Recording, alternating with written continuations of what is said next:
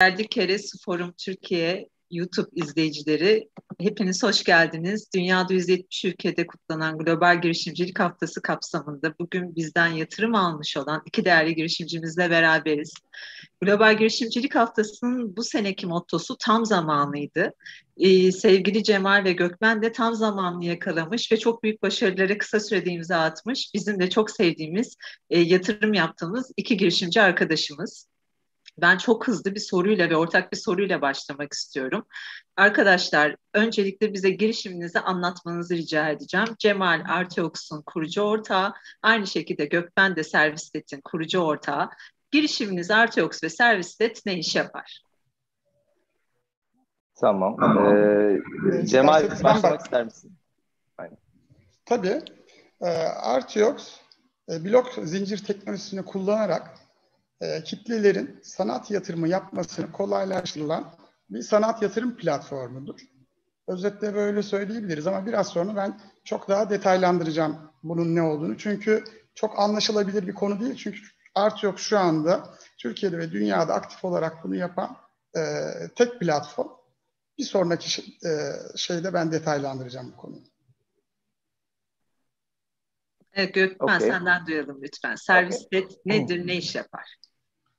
Servislet şu işi yapıyor aslında. Bizim e, otomotiv tarafında e, satış sonrası hizmetler dediğimiz bir alan var. Aracın sıfır satışından sonra ay, ömrü boyunca almış olduğu bütün hizmetler.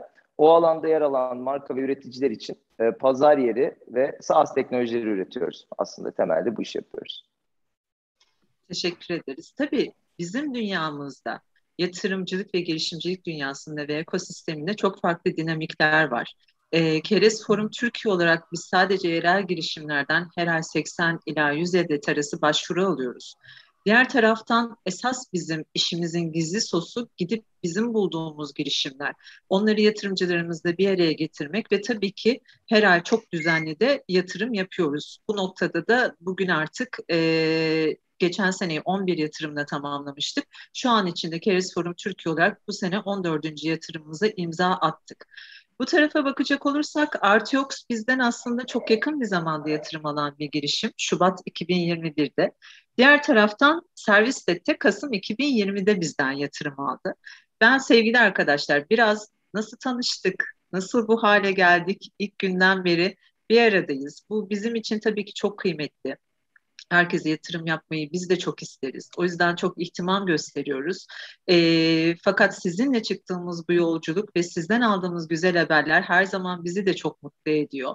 E, nasıl başladık bu yolculuk beraber? Cemal senden başlayalım lütfen. Şöyle aslında biz bu noktada e, çok şanslıydık Duygu. Çünkü senin de sanata ve sanat yatırımlarına olan ilginin de etkisiyle aslında senin Twitter'daki bir etkileşiminle başladı her şey. Artiox'la ilgili hatırlayacaksın diye düşünüyorum. Bir Twitter paylaşmıştın. Sonrasında bunun üzerine e, gelişti her şey. Evet, çok Şeyde beğeniyorum bu girişimi. Çok e, merak ediyorum gibi bir şey yazıp size mentionladım. Zaten ondan sonra da e, gerisi geldi. Evet. Sonrasında Aynen çok hızlı çok hızlı gelişti. E, sonrasındaki ilk e, yatırım toplantınıza davet ettiniz bizi. Biz toplantıda e, Artyox'u anlattık. Sonrasında orada özellikle Sertaç Bey, e, kendisi de finans dünyasında tanınan bir isim biliyorsunuz. BKM Genel Müdürlüğü Yönetim Kurulu üyeliği de yapmıştı. Sertaç Bey'in ilgisini çekti tabii Artyox doğal olarak. Alesta ile beraber bize yatırım kararı aldılar ve süreç gerçekten e, çok hızlı işledi. E, bilmiyorum e, diğer şeylerde bu oldu mu ama Keyratsu gerçekten bize e, yatırım dünyasının kapısını çok hızlı efektif bir şekilde açtı. Teşekkür ederiz. Bu noktada ben tabii bize çok gelen bir soru bu. Nasıl yatırım alabilirim veya neden yatırım alamadım? Ve tabii ki arkadaşlar süreçleri çok merak ediyorlar. Sevgili Gökmen sana geçmeden önce ara ara da bilgi vermek istiyorum. Çünkü bu kayıt altında oluyor ve sonrasında da çok izleniyor bizim YouTube kanalımıza yüklediklerimiz. En önemli konu bizim için ve farkındalığımızın çok yüksek olduğu bir nokta girişimci para yakarak büyüyor. Ve e, o girişimcinin satış yapabilmesi için veya yurt dışına açılabilmesi için veya bazen ekibini kurması için e, yatırım almaya ihtiyacı var. Bize de biliyorsunuz başvurduğunuz yani ilk girişim tarama toplantısına, her ayın ilk perşembesi yaptığımız toplantıda yatırımcılarımızla bir araya geldiğimiz süreçten sonraki iki hafta sonraki forum toplantısına kadar e, geçen zaman var ve sizinle eğer ilgileniyorlarsa da sonra hızlıca ortaklar sözleşmesinin ve yatırımın tamamen konuşulduğu bir deep dive süreçleri oluyor. Biz bütün bunları 5-6 hafta içerisinde daima kapatmayı hedefliyoruz. E, olumlu veya olumsuz olsun. Çünkü sizin tarafınızda da e, sizi oyalamak veya size o kapıyı ucu açık bırakmak gibi bence kimsenin bir lüksü yok. Biz de bu farkındalıkla daima hareket ediyoruz deyip sözü şimdi servis detin yatırım alma hikayesi için Gökmen'e bırakayım. Okay. Bizimki tabii biraz daha konvansiyonel gelişti orada. Biz e, KRSU'ya ulaştık, başvuru yaptık. Ama e, tam yayın öncesi de birlikte konuşuyorduk. Bizde şöyle bir e, e, güzellik oldu diyebilirim. Saat akşam sularında başvuru mailini gönderdim. Tam olarak bir saat sonra e, KRSU'dan geri dönüş hemen Zoom'a bağlanalım, konuşmamız lazım, konuşalım. Peki falan işte ben de o sırada yoldaydım hemen eve gittim. Zoom'a bağlandık yaklaşık yarım saat 40 dakika e, pitch deck üzerinde ilerledikten sonra e, bir sonraki yatırımcı toplantısına davet edildik zaten. Orada ilk sunuma başladık. Ben e, aynı zamanda startup hukuku dersleri, işte yatırımcı ilişkileri dersleri falan da veriyorum üniversitelerde. E, o tarafta da her zaman şunu anlatıyorum. Yani e, çok özür dileyerek bunu söyleyeceğim. Böyle yatırımcıyla ya yatırım almak aslında biraz da böyle ayıyla yatağa girmeye benziyor. Yani ne olacağı belli değil. Bu iyi de olabilir, kötü de olabilir şeklinde örnek veriyorum. E, ama bizim KRS hikayemiz muhteşemdi. Yani dediğiniz çok önemliydi orada Duygu Hanım. E, 5-6 hafta içerisinde closing'e gittik. Biz hiç bu kadar hızlı e, sürecin ilerleyeceğini tahmin etmiyorduk ve e, çok net e, ve çok deneyimli bir ekiple ilerledik. Zaten e, Cemal e, ile de ortak bir yatırımcımız var, Alesta. Bizim de yatırımcımız aynı zamanda. E, tüm sürece baktığımda e, iyi ki Keiretsu olmuş. Yani Keiretsu'nun e, PR gücü tarafında bize katmış oldukları, özellikle bugün gelmiş olduğumuz nokta itibariyle e, o PR tarafı hani değerlemeye baktığım zaman mutlu muyduk, mutsuz muyduk o ayrı bir konudur belki. Daha yüksek olabilir miydi belki ama yatırımdan sonraki bize olan destek, takip ve Keiretsu'nun uluslararası PR gücü bizi bugün bu noktaya getirdiğine yüzde yüz söyleyebilirim.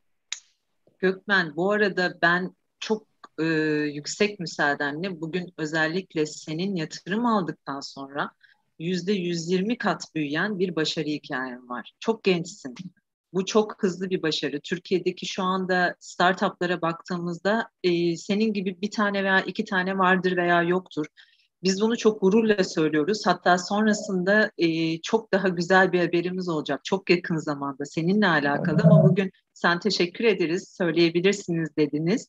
E, ve ben de bunu söylemek istiyorum. Gerçekten bir girişimin Kasım 2020'den bugün Kasım 2021'e geldiğimiz noktada bu denli büyümesi çok çok çok önemli. Ve ben inanıyorum ki herkes çok iyi yerlere gelecek. Çünkü yaptığınız işin de önü açık. O yüzden bağlantılı bir soruyla devam etmek istiyorum.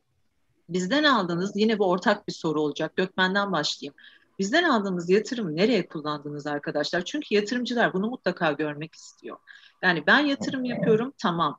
E, sonrasında yaptığım yatırımın geri dönüşü bana nasıl olacak ve sen benim yaptığım yatırımı bu finansmanı nereye kullanacaksın? Gökmen sen nasıl hareket ettin bu noktada? Ee, biz orada e, pitch deck'te e, şunu sormuşlardı. Bu parayı ne kadar sürede tüketeceksiniz sorusu gelmişti bize.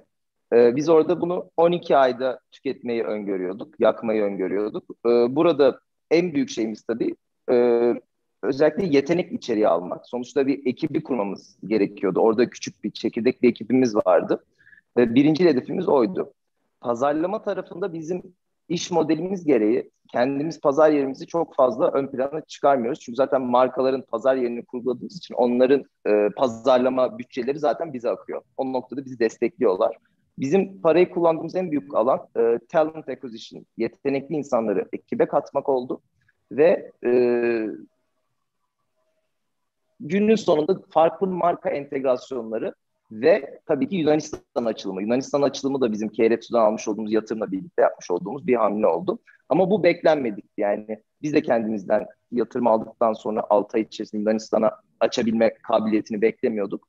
Ama ekip olarak dedik ki olduk. Çok iyi bir ekip kurduk sonucunda ve bunu yapabilecek kapasiteye eriştik diyebilirim. Teşekkür ederiz. Yolunda açık olsun inşallah. Diğer ülkelerin de geldiğini biliyorum zaten. Onları da konuşuyor olacağız. Sevgili Cemal, senin tarafında da şimdi Artyox'un e, benim dünyamda teşekkür ederim. Evet sanatla çok ilgiliyim. Sanatla ilgili çok uzun yıllar yazdım. Ufak da bir koleksiyoner tarafım var aileden gelen ama diğer taraftan da Artyox noktasında siz Türkiye'de hiç yapılmayan bir şey yapıyorsunuz. Şimdi karıştıran insanlar olabilir. Özellikle e, değer önerinizi ben öğrenmek istiyorum. Bir de NFT'den neyi farklı yaptığınızı rica edeceğim. Tabii ki dinleyenler arasında değerli dinleyicilerimiz bazı terimlere hakim olmayabilirler. Bunları biraz detaylı anlatmanı rica edeceğim. Çünkü bugün gazetede de okusalar, herhangi bir yerde de görseler şimdi bir NFT dünyamız oluşmaya başladı. Ama sizin yaptığınız farklı bir değer önerisi var burada. Ondan biraz bahsetmeni rica ederim. Tabii ben izah etmeye çalışayım. Bu arada Artyox platformunun yaptığı iş şu anda Türkiye'de ilk ve tek olmakla birlikte biz hali hazırda dünyada da Artyox'un yaptığının benzerini yapan aktif olarak bir platform henüz tespit edemedik. E, tespit edersen lütfen bizimle de paylaş. Gerçekten biz şu anda dünyada ilkiz bu konuda. Dünyada ilk olduğunuz zaman bir takım şeylerin de zorluğunu çekiyorsunuz aslında. Çünkü biz şu anda yüzyıllardır aslında e, yüksek varlık kabiliyetine sahip bir kitlenin eriştiği bir yatırım enstrümanını kitlelere yaymaya çalışıyoruz. Gerçekten e, sanat yatırımları yüzyıllardır aslında bir değer saklama aracı olarak görülüyor. Fakat bunu çok küçük bir zümre erişebiliyor. Biz diyoruz ki biz burada oyunun kurallarını değiştirmeyeceğiz ama birkaç kural da biz eklemek istiyoruz diyoruz. Eklemek istediğimiz kural da şu, aslında biz sanat eserlerine parçalı sahiplik getiriyoruz. Bu e, nasıl oluyor?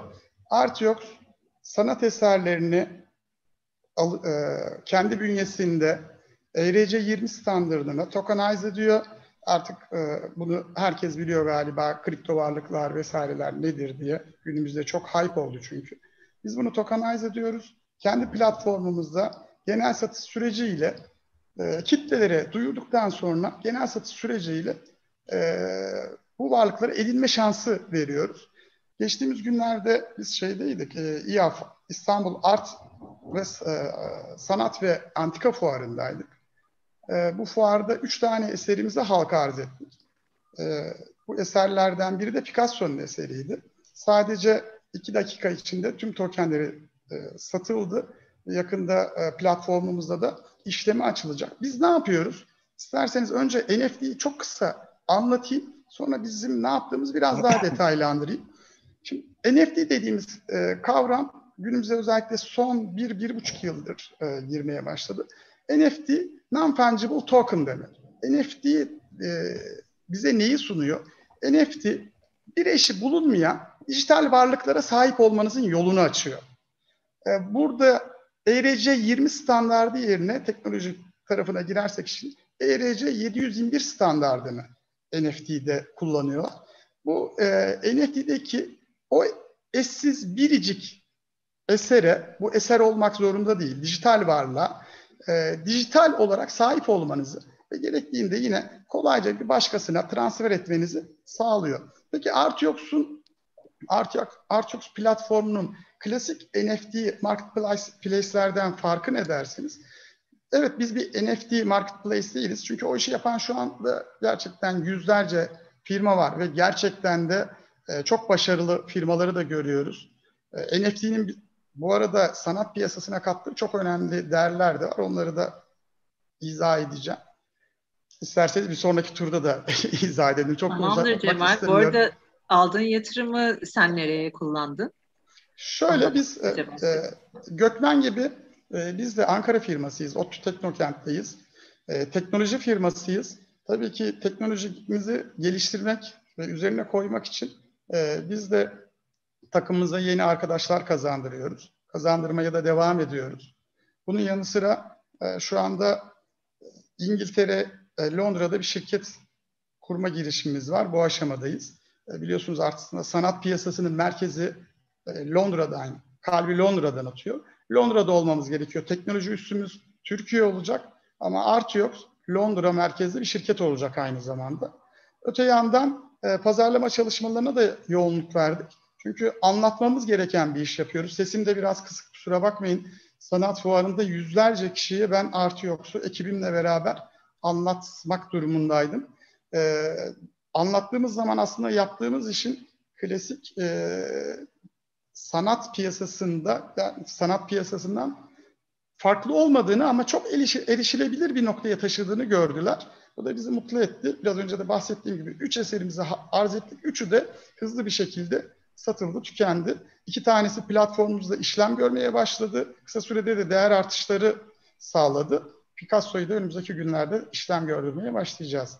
Heyecanla bekliyoruz Cemal. Bu güzel haberleri duymak harca da bizi mutlu ediyor. Diğer taraftan dediğin gibi ilk gün zaten onu konuşmuştuk. Londra sizin için pazar inşallah New York, Hong Kong gibi yerlerde de sizleri yine görüp alkışlamak isteriz. Ee, arkadaşlar ben tabii ki kısa kısa açılımlar yapmaya devam edeceğim. Biliyorsunuz girişimcilik ekosisteminde Türkiye'de şöyle bir algı var. Ee, sanki İstanbul merkezli bir girişim değil misiniz zor yatırım alırsınız gibi veya e, çok hızlı bir şekilde finansmana ulaşamazsınız gibi. Siz bu algıyı çok güzel kırmış iki girişimci arkadaşımızsınız. Çünkü Ankara merkezli iki girişimde buradaki şu an konuştuğum. Lütfen ben her zaman girişimci arkadaşlara onu diyorum. Biz pandemi öncesinde zaten il il dolaşıp e, sevgili yatırımcı ilişkileri direktörüm Emir veya bazen ben gidiyorduk. Antep'e gidiyoruz, Adana'ya gidiyoruz, bir sürü yere gidiyoruz. Çünkü girişimciliğin Türkiye'de her yerden yeşerdiğinin ben şahsen 13 yıldır ekosistemin içinde olan biri olarak çok farkındayım ve bunu çok hissediyorum. Siz de Ankara tarafındasınız bu işin. Herhangi bir şekilde tabii ki bizim hayatımızı pandemi çok etkiledi. Ee, bildiğiniz gibi biz e, pandemi dönemine kadar Zoom'da değil toplantılarımızı Eczacıbaşı Holding Kanyon'da yapıyorduk daima yatırımcılarımızla beraber. Fakat bence buradaki en önemli değer konu da şu. Aslında size hayatında sadece 2-3 kez Zoom üzerinden görmüş olan insanlar size inandılar, güvendiler ve yatırım yaptılar. Bu nasıl bir hissiyat? Çünkü hiç göz göze bakmadınız o insanlarla. Belki bir restoranda, kafede yan masanızda otursa ha, benziyor ama acaba o mu diyebileceğiniz kadar da aslında hem bir yakınlık ama diğer taraftan da bir bilinmeyenin verdiği uzaklık var. Hani bu nasıl bir psikoloji? Yani sadece bir insan inanıyor. Aa Gökmen ben sana 200 bin dolar vermiştim biliyor musun? deyip yanına bile gelebilir. Bu sizde nasıl bir e, dünya yarattı? Gökmen sen arzu edersin. Okey. Ee, bir kere çok değişik. Çünkü ben e, Spectre'un her iki tarafını da gördüm. Yani ben yüz yüze de pitch deck sunumu yaptım. Bir de sonra Zoom'da da yaptım. Ve biz yatırımı Zoom tarafında aldık. Öncesinde herhangi bir şeyimiz olmamıştı. İlk yatırımımız KRSU ve Zoom üzerinden aldık bunu. Ee, başta çok konforlu hissetmediğim bir konuydu bu. Ama yeni normalimiz oldu. Şu anda yüz yüze bir araya gelmek böyle benim için biraz daha farklı olmaya başladı. Ama dediğiniz çok doğru. Şimdi ben İbrahim Bey mesela yatırımcımız Ales'te hep Zoom'dan gördüm. Geçenlerde bir FaceTime yaptık kendisiyle. İbrahim Bey dedim siz bayağı gençsiniz yani ben niye sizi daha farklı konumlandırmışım dedim. Canlı görsem demek ki bambaşka bir deneyim olacak bizim için. Ee, çok istiyoruz. Henüz bir araya gelme şansımız olmadı. Ee, ama e, deneyim açısından baktığımız zaman e, ki 4-5 farklı e, Angel veya Angel Group veya VC'lerle biz bunu yaptık. E, KRSU tarafındaki samimiyet veya yaklaşım, profesyonelliği hiçbir tarafta görmedim. Onu söyleyebilirim e, kendi deneyimim açısından. Ve e, bu ve sizin sayenizde Zoom'a adapte oldum. Onu da söyleyeyim. Çünkü tam pandeminin hani o süreçlerinde biz de daha yeni yeni adapte olduk. Tüm kendimi burada anlatmayı öğrendikten sonra yatırımı aldıktan sonra bütün markalarla Zoom yapmaya başladık. Bir anda böyle tık tık tık tık şey e, anlaşmaya başladık. Dolayısıyla bizim için çok iyi bir e, nasıl diyeyim deneme tahtası oldu diyebilirim. Teşekkür ederiz. Cemal senin tarafta nasıl bir durum bu? Evet aslında pandemi süreciyle beraber e, bu dezavantaj gibi gözüken e, süreç bizim işimize yaradı. Aslında sanat piyasasının da işine yaradı. Biraz sonra onu izah edeceğim. E, şöyle e, Zoom üzerinden e, Keyretsu üzerinden görüşmeleri başlattıktan sonra biz bütün yatırım süreçlerini tamamını yine dijital ortamlarda yürüttük. Ee, aynı Gökmen gibi biz de İbrahim Bey Alesta bize yatırımcı ama henüz kendisiyle yüz yüze tanışma imkanı bulamadık. Bu arada Alessa'ya gerçekten de bir parantez açmak istiyorum burada. Gerçekten ekosistemde çok önemli işler yapıyorlar. Startuplara bence gerekli zamanda gerekli can suyunu vererek e, bu ekosistem içinde büyümelerini sağlıyorlar. Kendilerine tekrar Sertaç Bey ile beraber kendilerine tekrar teşekkür ediyorum. Sonrasında biz e, bütün bu süreçleri e, dijital ortamlarda yürüttük. E, kendi ortaklıklarımızı bitirdikten sonra bir sonraki biz ara yatırım turunda ise ideal finans teknolojileri, hedef girişimin ortaklığı olan ideal hedef, ideal finans teknolojilerinin yatırımını aldık. Bu arada ideal finans teknolojileri borsaya kota bir şirket. Bunu özellikle belirtmek istiyorum. E, bu, bu süreçleri de öncelikle dijital ortamlarda başladık. Sadece imza aşamasına İstanbul'a geldik. İmzamızı orada attık. Namık Kemal Gökalp Bey e, e, bizi sağ olsun misafir etti. Sertaç Bey ilk yatırımcımız. Sertaç Bey'i de ilk defa orada görebildik. Hatta e, Tuncay ile kurucu ortağım Tuncay ile Sertaç Bey'in arkasında ya Sertaç Bey de çok uzun bir adammış dedik. Gerçekten oldukça uzundu, boy, boyu uzun bir insandı. Çok kaliteli bir insan. Yani görmediğiniz için şaşırıyorsunuz. Ortağınız, birkaç aydır ortağınız hiç karşılaşmamışsınız. Böyle komik adılar şeye de e, sebebiyet veriyor. E, bence çok güzel e, gelişti bizim açımızdan. Ankara firması olarak bizim işim, benim işime yaradı. Kökmen'in de işine yaradığını görüyorum ben. Harika. Diğer taraftan az evet. önce bahsettiğin gibi de Borsa Ekote %25'i yatırımcıların, şirketlerin sahibi. İbrahim Bey, Sertaç Bey tabii ki çok kıymetli yatırımcılarımızdan bizi de. Bu da sana ayrı bir sorumluluk yüklü. Yani şekilde Gökmen'e de. Fakat bu süreçlerde de gayet e, iyi gittiğinizi bizim tarafta da gözlemliyoruz. Ben Cemal senle devam etmek istiyorum. Şimdi blok zincir kullanıyorsunuz. Hani dünyada hep Doğru, evet. blockchain teknolojisi kullanıyorsunuz. Öncelikle biraz o teknolojiyi anlatmanı rica edeceğim senden ve Artiox'un o teknolojiyi de e, ne yaptığından da bahsetmeni rica edeceğim. Tabii blok e, şeyin blok zincir teknolojisi e, anlamlı bir şekilde kullanılmaya başlandığından bu yana birçok problemi çözmeye başladı. Özellikle finans dünyasında çok fazla problemi çözüyor. Dolayısıyla dijital varlıklara sahip finans kuruluşları, bankalarında bu teknolojiyi kullanmaya e, başladığını görüyoruz. Bu tabii sadece finans dünyası için değil, birçok farklı alanda da kullanılmaya başlıyor. Aslında blockchain teknolojisi bize neler sağlıyor? Yapılan işlemlerin e, şeffaf olmasını, hızlı olmasını, güvenli ve erişilebilir olmasını sağlıyor. Aynı zamanda blockchain üzerinde yapılan tüm işlemler kalıcı olarak kayıt ediliyor ve bunların değiştirilememesi e, kullanıcı tarafını bence güven konusunda bir kez daha rahatlatıyor. Aynı zamanda blockchain ile yapılan akıllı sözleşmeler e, bu eskiden geleneksel yöntemde kullanılan sözleşmelerin yerine geçtiği için zaman kaybını önlüyor, verimliliği arttırıyor. E, biz burada blockchain'i nerede kullanıyoruz dediğiniz zaman biraz önce bahsettiğim Artiox ne yapıyor? Değerli sanat eserlerini e, tokenize ederek e, kullanıcılarının alımına sunuyor. Burada da biz blok, blockchain teknolojisinin ERC20 standartını kullanıyoruz. Ethereum e, şeyliğini kullanıyoruz. Ethereum üzerinde ve sanat eserlerini belli miktarlarda parçalara bölüyoruz. Bunu aynı şöyle düşünebilirsiniz. Örnek veriyorum biz Devrim Erbil'in bir eserini 80 bin parçaya böldük. 80 bin birinci parçayı yaratamayacağız. Dolayısıyla aynı bir tapu senedi gibi e, alan şu gönül rahatlığıyla bizim sistemimizde yani e, devrim erbil tablosundan bin parça alan bir yatırımcımız şu rahatlığa erişecek. Bunun 80 binde bini artık benim ve devrim erbil tablolarının değer artışından ben bu oranda faydalanacağım diyebilecek. Biz e, şu anda bunu sağlıyoruz.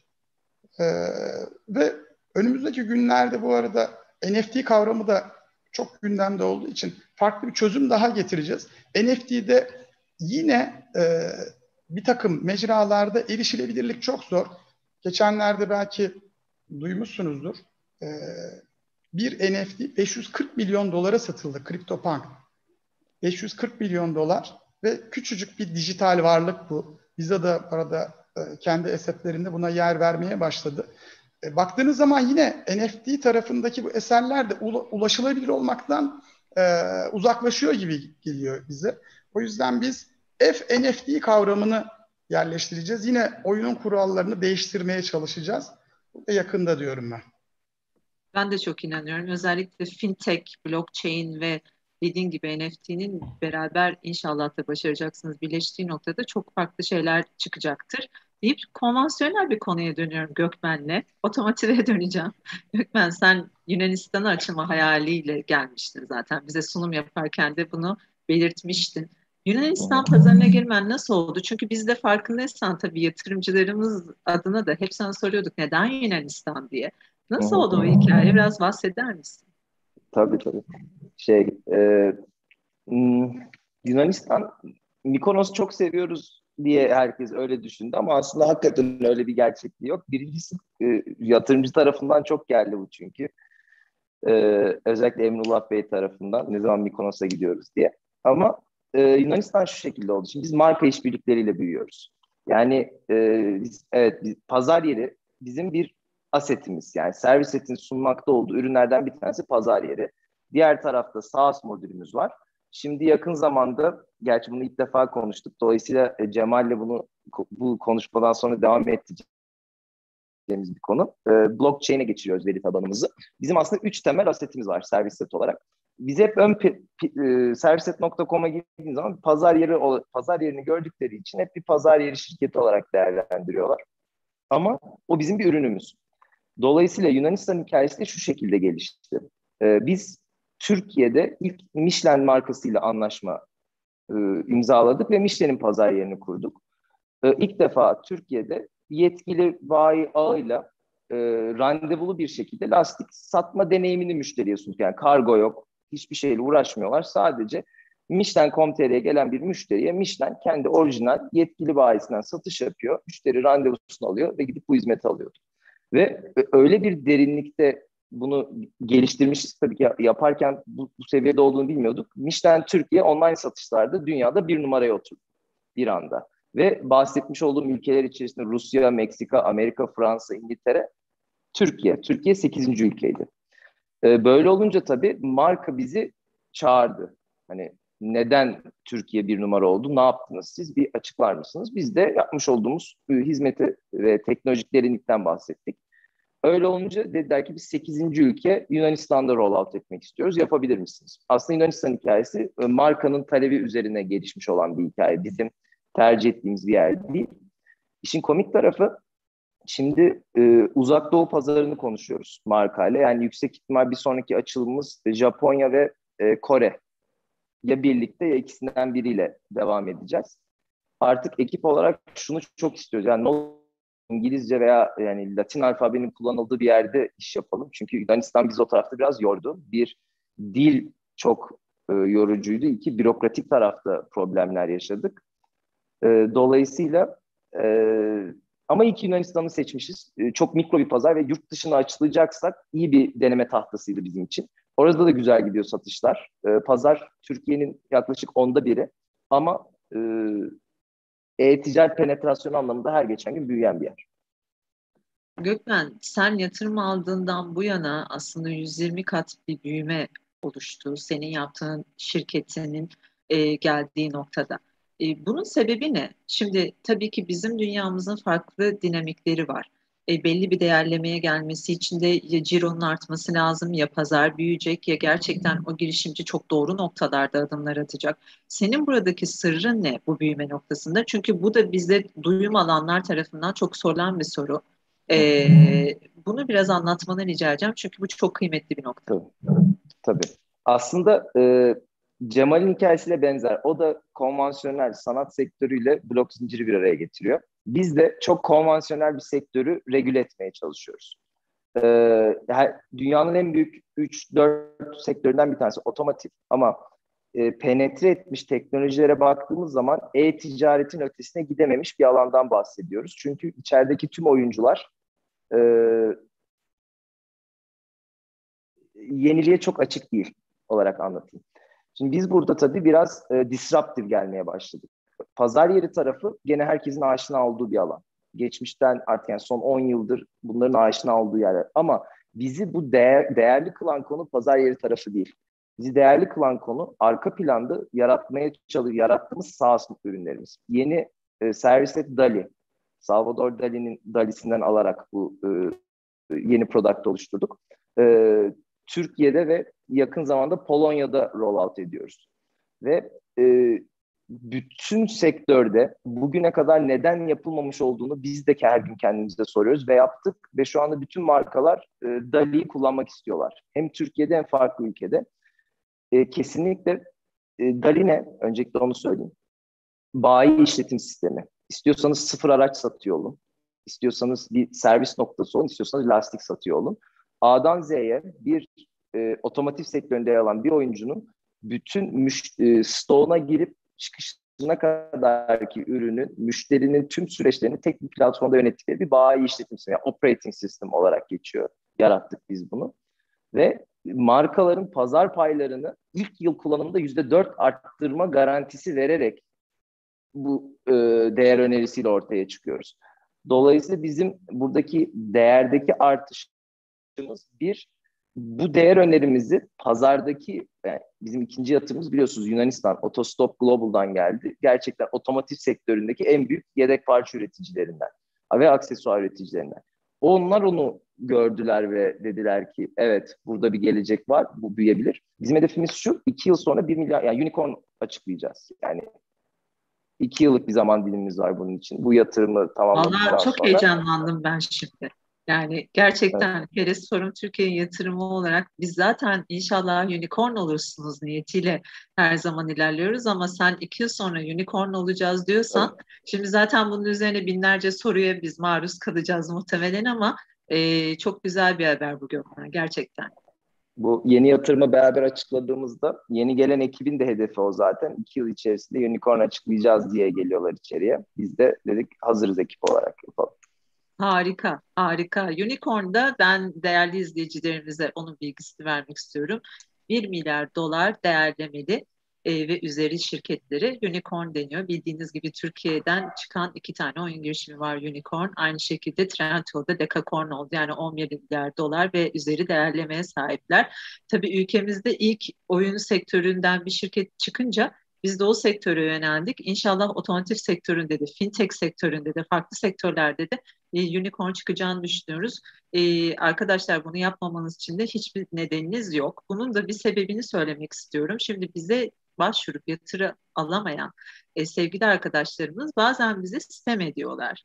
E, ne kadar üzüldüklerini belirtiyorlar. Öncelikle bu bizim elimizde olan bir şey olmamakla beraber bizim girişimcilerde aradığımız ve sevdiğimiz özellik teknoloji tabanlı ve inovatif bir iş yapmaları ve tabii ki Born Global denen yani global olma vizyonuyla doğmaları.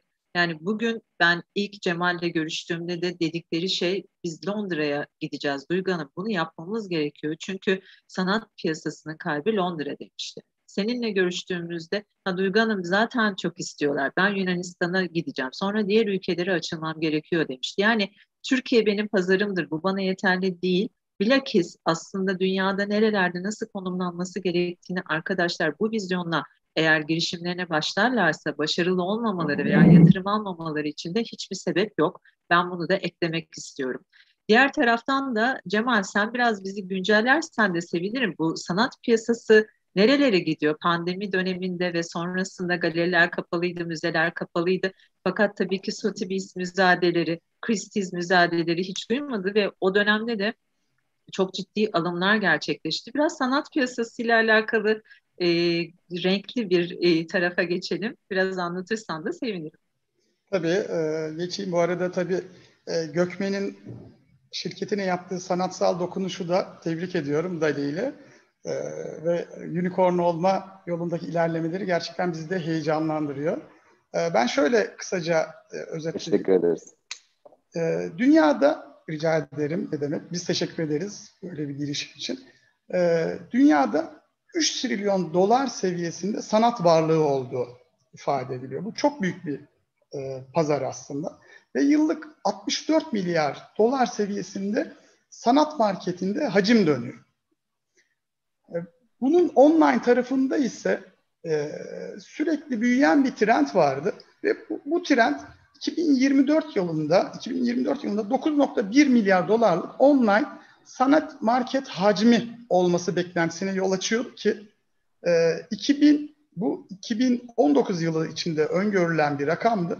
2020 yılında, bakın 2024 yılında 9.1 milyar dolar öngörülürken pandeminin de etkisiyle 2020 yılında 12.4 milyar dolarlık online sanat market hacmi gerçekleşti. Yani şey tarafından, sanat market hacmi tarafından online pazar pandemiyle beraber çok fazla e, büyümeyle yer almaya başladı. E, biz de Artiox ile aslında bunu daha da hızlandıracağımızı düşünüyoruz. Çünkü hala biz şu iddiadayız. Artiox e, Art Investment e, 3.0 e, diyeyim Türkçe olarak söyleyeyim size. E, yeni bir açılıma gidiyor. Art Investment bugüne kadarki birinci geleneksel yol klasik müzayede evlerinden, koleksiyonerden, sanatçıdan aldığınız eseri ifade ediyor. Art Investment 2.0 dediğimiz konu ise şu anda yine hali hazırda yapılan müzayede evlerinden, e, yine online olarak edinilen eserleri ifade ediyor. Biz ise bambaşka bir noktaya geldik. Dedik ki biz 3.0'ız. Ne yapıyoruz? Biz sanat yatırımlarına, sanat eserlerine erişiminizi kolaylaştırıyoruz. Ee, bundan önce biraz önce de ifade etmiştim. Sanat yatırımı yapabilmeniz için her şeyden önce bu konuda yeterli fikre sahip olmanız, bilgi ve deneyime sahip olmanız gerekiyordu. Yeterli bir giriş sermayesine sahip olmanız gerekiyordu. Eserin orijinalliği konusunda büyük sorunlar olabiliyordu. Çok kıymetli bir eser diye yatırım yaptığınız eser sahte çıktığı vakit e, bütün yatırımınız boşa çıkıyordu. Artı yok bunların neredeyse tamamını çözüyor Yüksek giriş bariyerini kaldırıyoruz. Art yoksa inanmayacaksınız bize 97 kuruş attılar sisteme. 1 lira bile değil. 97 kuruş gönderen kullanıcımız oldu. Yani bu bariyer daha ne kadar düşürülebilir bilemiyorum. Bundan önceki en düşük rakam 20 liraydı. 97 kuruşa kadar indik. Ee, e, ayrıca güvenlik sorununu çözüyoruz. Tüm eserlerimiz mutlaka ya sanatçıdan e, sertifikası alınıyor. Ya onu temsil eden ailesinden ya da onu temsil eden galeriden alınıyor bununla ilgili. Likitasyon sorunu biraz önce zaten bahsettim. 97 kuruşta çözmüş olduk ve erişilebilirlik. Aslında çok önemli noktalardan biri de bu. Biz Artiox'la e, dünyanın her tarafından sanat ve sanatçı, e, sanatsever'i buluşturabileceğiz. Bugün Türkiye'deki sanatçılarımızın büyük zorluklarından biri şu, ee, ben kendimi tanıtamıyorum diyor. Ee, klasik tanım vardır işte Trakya'da, Edirne'deki sınırı geçtikten sonra değeriniz düşüyor. Bu anlamda artı yoksa dünyanın her tarafından e, kendisine yatırımcı bulabilecek sanatçılarımız aynı şekilde dünyanın her tarafındaki e, sanatçılar da Türkiye'den de yatırımcı alabilecek, başka ülkelerden de alabilecek. Bunun ilk örneğini aslında Picasso'yu arz ederek de yaptık. Artık Türkiye'de gelir düzeyi çok yüksek olmayan insanların dahi Picasso eserinden e, birkaç parça da olsa sahipliği var. Hangi eseriydi Cemal? Bu, ben gelemedim. Teşekkür ederim davet ettiniz. Ancak icabet edemedim. Hangi eseri olduğunu da merak ediyorum. E, tabii e, bir e, Linokat orijinal imzalı 116. edisyonuydu. E, 250 bin parça halinde 250 bin liradan e, arz ettik. Sistemde de görebilir. E, Le Danseux, Dansçı isimli eseriydi. Artox platformuna girdiğinizde zaten göreceksiniz hemen eserin tüm detaylarını, imzasını, sertifikasını bunların hepsini tüm kullanıcılarımız görebilecek. Güzel güzel bir eser kazandırdık diye düşünüyorum. Orijinal e, orijinal Dali gelirse biz de e, şey yapmak isteriz. Katılım sağlamak isteriz. Haber Tabii, verirsen Cemal. Bence artık e, servislete e, bir Dali yakışır diye düşünüyorum. Mutlaka e, bir Dali, Dali getireceğiz sisteme merak etme Gökmen. Tamam, Önce okay. sana haber vereceğim. Tamam anlaştık. Picasso'nun e, satışa sunduğunuz değeri ne kadar Cemal? Şu anda Picasso'yu biz 250 bin parçaya böldük ve 250 evet. bin liradan arz ettik. Ee, ama bundan sonra artık değerine kitleler karar verecek. Bu evet. bizim e, Artyox platformu üzerinde anlık olarak e, alınıp satılabilir bir e, varlığa dönüştü artık. E, isterse bizim e, alıcılarımız, yatırımcılarımız bunu e, yıllarca da bekletebilir. İsterse 3 gün sonra, 3 gün 3 saat sonra platformda listelendikten sonra satabilir. 7-24 açık erişilebilir bir market deneyimi sunacağız tüm kullanıcılarımıza. Cemal ben şöyle bir profil çizmek istiyorum. Ee, atıl ve görece varlık sahibi birini örnek alalım. Sanata çok meraklı ama sanattan hiç anlamıyor. E, fintech veya bizim bu dünyamızdan çok uzak. Ben diyor hiçbir şekilde blok zincir nedir bilmiyorum. İşte Ethereum hayatımda hiç almadım, satmadım. Çok ilgim yok bu konulara diyor. O hiçbir şey bilmeyen ama yine de sizin dünyanıza girmek isteyen kişi nereden başlar? Aslında çok kolay. Artyox platformunda hızlıca bir, bir iki dakika içinde üye olup e, sistemde bizim yönlendirmelerimiz de var. E, web üzerinden de buna dahil olabilir. Şu anda biz e, Android ve iOS olarak aplikasyonlarımızı da çıkardık. Cep telefonundan da indirip dahil olabilir. Süreçler, sistemler çok hızlı ilerliyor. E, online ilerliyor. E, bizim sistemimizde şöyle bir rahatlık var. Tüm bunları ücretsiz olarak indiriyor. E-mail sadece e-mail ile e-mail ile seviye sıfır seviyesinde tüm bu işlemleri gözlemleyebilir. Seviye 1'e gelmesi için ise e, kimlik doğrulaması yapması gerekiyor ki bunu da zaten e, nüfus idaresinden çek ederek yapabiliyoruz. On, e, online yapılıyor bu. Bu süreçler sadece 1-2 dakikasını alabilir ve çok hızlı dahil olabilir. Peki diğer taraftan e, Artiox'un internet sitesinde sanat pazarının S&P 500'den daha hızlı değer kazandığını gösteriyorsun. Konuyu biraz açmanı rica edeceğim çünkü bu da hassas bir konu. Evet, e, gerçekten bunu e, internet sitesi üzerinde bulup da tespit etmiş olman çok önemli. Genelde atlanan bir konu bu. E, sanat bir yatırım aracı mı diyorlar. Tabii sanata yatırım yapmayanlar sanat bir yatırım aracı mı diyorlar. Evet, sanat bir yatırım aracı ve öyle bir yatırım aracı ki e, S&P 500 endeksi ile e, Art Price 100 endeksini karşılaştırdığımız zaman şunu görüyoruz. Bu arada Art Price 100 endeksi dediğimiz endeks e, dünyadaki blue chip dediğimiz en değerli sanat eserlerinin 100 tanesinin endeksi yani e, değerinin nereden nereye gittiğini gösteren bir endeks. S&P endeksi de biliyorsunuz Amerika'daki e, borsaya kote en büyük 500 şirketin hisselerinin e, değerlendirildiği bir endeks. Ve e, 2000 yılından itibaren bu endeks karşılaştırıldığında S&P endeksi çok ciddi değer artışı sağlamasına rağmen Art Price 100 endeksi S&P 500 e, endeksin iki katı değer kazandırmış. Yani sanat yatırım aracı mıdır diyenlere evet sanat yatırım aracı diyebiliyoruz artık. Peki diğer taraftan e, Gökmen'in şimdi yeni serüveni başlıyor. Japonya, Kore'de diye. Gökmen oralarda çünkü bizim zaten otomotiv sektörü denince aklımıza gelen ülkeler e, daha çok orası uzak doğu ülkeleri yani. E, neler yapmayı planlıyorsun? Yani önümüzdeki sene bu zamanlarda Senden nasıl haberler duyacağız? Japonya'da neler olacak senin için? Şimdi e, bizim kurucu ekiple sürekli konuşuyoruz bu konuları. Nasıl yapacağız vesaire. E, hatta bugün yayına katılmadan önce de gene bir aradaydık. Bizim hedefimiz şu. Her ürünümüzün e, her ülke pazarına girdiğinde iki hafta içerisinde adapte edebiliyor olmamız lazım.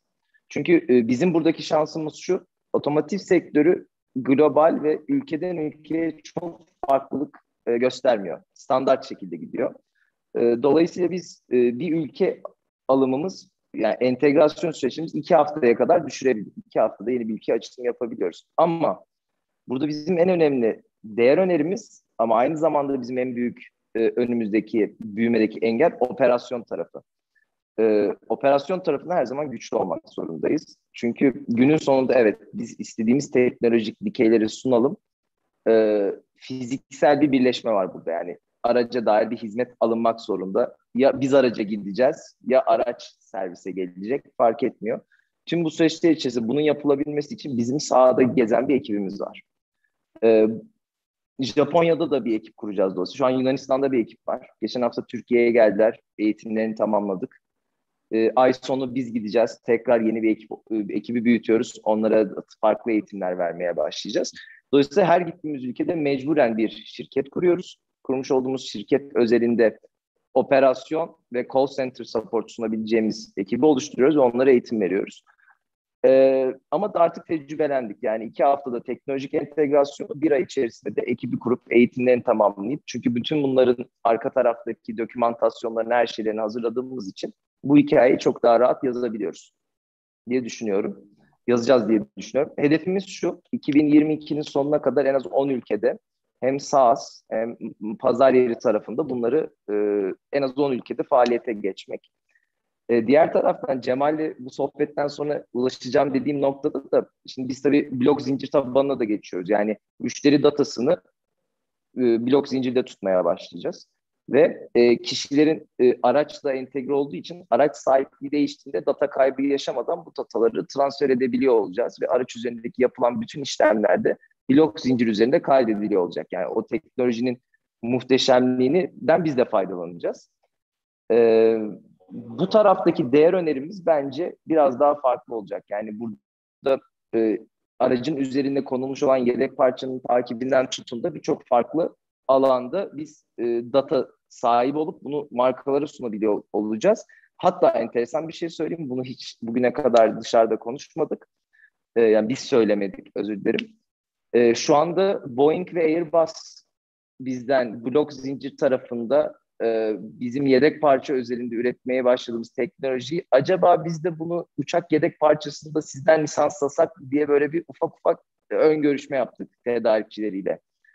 E, çünkü sunmuş olduğumuz değer şu, real time olarak ve değiştirilemeyen, manipüle edilemeyen e, decentralized bir sistemde ve e, bu datanın çok hızlı aktarılabiliyor olması uçak şirketleri açısından çok önemli ve real time görebiliyor olmaları ve geriye dönük çok track edilebilir olması. Dolayısıyla öyle bir şey geldi. Tabii yapabilir miyiz, yapamayız onu bilmiyorum ama e, öyle bir Airbus ve Boeing tarafından bir Londra'ya çağrıldık. E, herhalde bir iki üç açısı bir gideriz en azından tanışmış oluruz yani.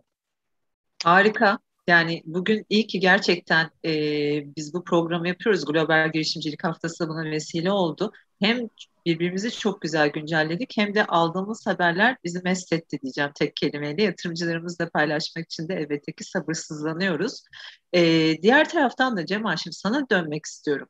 Bu dijital sanatın kalıcı olup olmadığıyla alakalı biliyorsun çok argüman dolanıyor sanat piyasasında e, konvansiyonel taraftaki insanlar biraz karşı çıkıyorlar ve daha tutucu bir, bir konum sergiliyorlar. Ne düşünüyorsun? Dijital sanat kalıcı olacak mı? Şöyle, e, ben şöyle yaklaşıyorum bu olaya.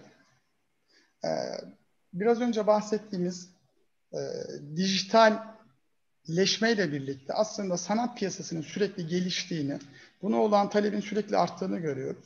Dijital sanat tarafının gelişmeyeceği, tutmayacağı demek bence çok doğru olmayacaktır. Ee, şöyle 1870'li yıllarda Amerikan Patent Dairesi Başkanı tarihin en büyük gaflarından birini yapmıştır. Ee, bu tarihten sonra patent verilebilir ne olur bilemiyorum demiştir. Şu gelişen teknolojide de dijital tarafın, dijital sanatın gelişmeyeceğini e, iddia etmek, aksini iddia etmek bence çok çok doğru olmayacaktır. Mutlaka gelişecektir ama orada bence yatırımcıların çok dikkat etmesi gereken konu şu. Burada secondary market dediğimiz ikinci el piyasası oturdu mu?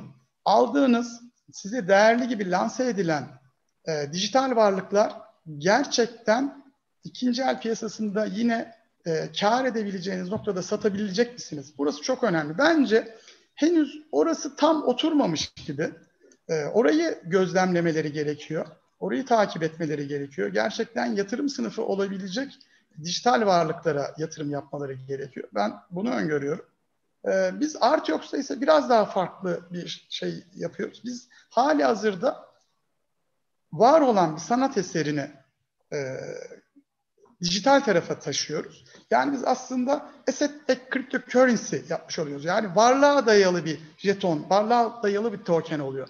Artyox'ta yaptıkları yatırım e, şu anda ikinci el tarafı oturmuş kes, e, çok daha güvenilir şu an için diyorum yanlış anlaşılmasın. Çok daha güvenilir bir yatırım oluyor ama dijital taraftaki de doğru yapılan yatırımlar çok çarpan kazançlar şeklinde dönebiliyor. Peki teşekkür ederiz. Diğer taraftan arkadaşlar ikinize, e, ikinize de ortak bir soru sormak istiyorum. Siz geldiniz, görüşmeler yapıldı, süreçleri tamamladık, üzerinden de zaman geçti. Keresi Forum Türkiye'den yatırım almak isteyen e, arkadaşlarımızla sizin yolda karşılaştığınız konularla alakalı ne önerileriniz olur? Ben Cemal sana sormuş olayım öncelikle sonra Gökmen.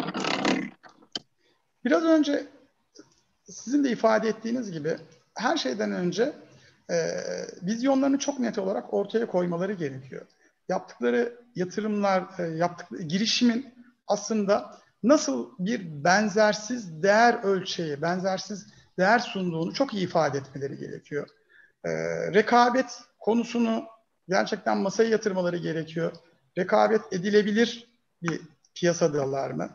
E, ve bence önemli konulardan biri şu, vazgeçmemeleri gerekiyor. Gerçekten inanıyorlarsa bu projeye, girişimlerine inanıyorlarsa sürekli olarak Keyretsu gibi ve e, sizin gibi kurumlara ulaşmaya çalışmaları gerekiyor. Bence sonrasında e, gerekli e, tabii Alessa'ya da ulaşabilirsiniz bu arada. Onlar da sürekli yatırım yapıyorlar. İbrahim yani Bey, Alessa da bizim yatırımcımız olduğu için zaten evet evet Aless hareket ediyoruz. Çok Alessa'ya Alesta'ya sizin aracılığınızla ulaşabilirler zaten hali hazırda. Ben orada bir e, şeyde bulunmak istiyorum. İbrahim Bey'e şaka yolu göndermek göndermede bulunmak Çok da selamlarımızı iletiyoruz aynı şekilde evet. Aynen. Aynı şekilde. Selamlar. E, bence gerçekten e, projelerine inanmaları e, ve globale taşınabilir bir proje ise sonuna kadar da peşinde olmalarını öneriyorum ben. Evet. Gökmen senin önerilerini duymak isteriz bu noktada. Süper. Öncelikle rekabet ve vizyon tarafına çok katılıyorum. Ee, yüzde yüz. Ee, benim önüm, bizim önümüze de yani arkadaşlarımız tabii soruyor çevremizden insanlar bize danışıyorlar, pitch deck'ler geliyor. En e, hani basit temelden gireceğim sonra farklı bir tarafa değinmek istiyorum ama en gördüğümüz konu şu. Ya ben rakipsizim demek sanki bir artı değermiş gibi görülüyor. Ama aslında tam tersi. Yani rekabet ortamını yani Cemal'in orada değindiği konuyu ben biraz açmak istiyorum. Çok önemli bir nokta. Ee, rakibim yok veya rakip analizine yapmama gerek yok çünkü kimse benim bu değer önerimi sunmuyor dedikleri nokta bence çok tehlikeli bir nokta. Ve yatırımcının en böyle şeyini kaybettiğin nokta o taraf oluyor. Yani ben rakipsizim dediğin noktada yatırımcının şey ilgisini kaybediyorsun. Çünkü birinci bilinmesi gereken konu şu. Yatırımcı çok zeki. Yatırımcı konuyu biliyor. Senden önce bin kişiyi dinledi. Senden önce belki yüz kişiye yatırım yaptı. Hikayenin nasıl olduğunu biliyor. Dolayısıyla şeffaf olmak, gerçekten samimi olmak burada bence birinci kriter. Ee, biz hep öyle olmaya çalıştık. Kendimizi hep en samimi şekliyle sunmaya çalıştık. Ee, kötüyse de kötü. Evet eksiyiz. Bunu kabul etmemiz lazım. O yüzden zaten karşınızdayız. O yüzden para istiyoruz. Ee, özellikle e, benim e, kurucu ortaklarımdan Mertan bizim bu KRS tarafında sürekli beraberdik veya yatırım şeylerine hep beraber çıktık görüşmelerine. Şu soru hep. Yani ne kadar fatura kestiniz? Nasıl cironuz nedir? Sürekli gelen sorular. Hep e bizim yatırım alalım ki faturamızı arttıralım. Fatura kesme şeyimizi arttıralım. Dolayısıyla onu arttırırsa da yatırım alırız. Böyle tavuk yumurta ilişkisinde böyle bir garip bir döngü var yatırımcı tarafında. Dolayısıyla kesinlikle bir e, working product'la gitmek çok önemli. Artık fikir aşamasında yatırımı çok ekstrem bir şey yoksa atlamış durumdayız. Kesinlikle bir prototype olacak. En azından bir ödeyen müşteri edinilmiş olmasını tavsiye ediyorum. Keyretüs'e gitmeden önce e, ve samimi olması gerekiyor ve global vizyon. Artık bu da çok söyleniyor. Hani yemek sepeti bunun için bir örnektir mesela. Türkiye dışına çıkmadı ama Türkiye'de çok büyük ciro yaptı. Yani globale çıkmasını kimse beklemedi ondan. Gayet Türkiye'nin en büyük girişimlerinden bir tanesi. Ama global vizyon çok önemli. Altını doldurmak lazım. Gün gene eleştireceğim burada çok e, herkes çıkıyor işte globalde şu ürünü yapacağız, yatırımı aldık, yürüyeceğiz şuraya buraya. Bunun altın dolu olması lazım. Globale çıkacağım söylemi çok kolay bir söylem ama realize edilmesi gerçekten çok zor. Biz birebir yaşadığımız için bunu söylüyorum. Dolayısıyla altı dolu söylemlerin yapılmasını tavsiye ediyorum. Çok uzattım galiba buraya ama doluyum bu konu hakkında. Fark ettim ama çok iyi oldu. Ee, Cemal senin var mı eklemek istediklerin? Ee, açıkçası aklımıza gelenleri söyledik Gökmen'le beraber. Şu an evet. Ben de o zaman bir iki ekleme yapayım bu noktada. E, çünkü bana özellikle sosyal medyadan e, milyonlarca e, ve her seferinde aynı benim yanıtımla gelen bir soru oluyor. E, bize yatırım yapar mısınız? Şirketimiz beta'da. Bize yatırım yapar mısınız? Fatura kesiyoruz. Keresi Forum'un e, bütün dünyada yatırım için e, bir tane yatırım kriteri var. O da ilk faturasını kesmiş girişim olması. Herhangi bir sektör ayrımı yapmıyoruz. Zaten burada da gördüğünüz gibi aslında oldukça da renkli bir portföyümüz olmuş bir vaziyette. E, herhalde yatırım yapmadığımız sektör dünyada da yok, Türkiye'de de yok. Ama diğer taraftan mutlaka teknoloji tabanlı ve inovatif bir girişim olması ve tabii ki sizler bence buna harika iki örneksiniz. Eksponansiyel büyüme. Yani bizim dünyamızda bir hobi tarzı veya işte fatura kestim, e, iki kere iki dört etti, dört kere dört on altı edecek değil bizim dünyamız bildiğiniz gibi katlanarak büyüme ve çok yüksek oranda da getiri ve yatırımın dönüşünü istiyoruz ve ilk günden de o daha sizin de tecrübe ettiğiniz biliyorsunuz bizim meşhur bir sunum şablonumuz var. E, sizlerden hepinizden aynı şekilde sunum yapmanızı ve sunumlarımızın içerisinde olmazsa olmaz dediğimiz şeyler var. E, onları koyduğumuz takdirde de ve tabii ki ben ne zaman kime exit edebilirim bu inançla da yola çıkmak ve bunu da ilk günden yatırımcılara anlatıyor olmak bence e, bütün girişimciler için de çok kıymetli. E, biz Global Girişimcilik Haftası kapsamında sizinle bu söyleşiyi yaptık. Kendi tarafımızda çok mutlu olduk. Yolunuz açık olsun diyorum sevgili arkadaşlar. Arteox girişiminden kurucu ortağı Cemal Doğan'la ve Servistet'ten kurucu ortağı Gökmen Bolayır ile bugün beraberdik. İnşallah önümüzdeki günlerde çok daha güzel haberlerini alırız. Ve biz de diğer taraftan tabii kendi tarafımızda da boş durmuyoruz. Yeni yatırımlarımızı hızlıca duyuruyoruz ve duyurmaya da devam edeceğiz. Biz de e, herkese en iyi şekilde, en mutlu ve en doğru şekilde kıymetli girişimlerle yatırımcılarımızı bir araya getirmeye devam edeceğiz. Ben çok teşekkür ediyorum katılımınız için. Sizlerle beraber olmak her zaman olduğu gibi çok keyifliydi. E, chatten gelen soruları da kendi sorularının arasına katıp okumuş oldum. Değerli izleyicilerimize de teşekkür ederiz. Ama sonrasında zaten kayıt edildiği için daha da çok e, izleyici olacağını biz her seferinde de deneyimledik. E, sevgili arkadaşlar görüşmek üzere diyorum ben. Bizden de herkese sevgiler ve saygılar diyoruz.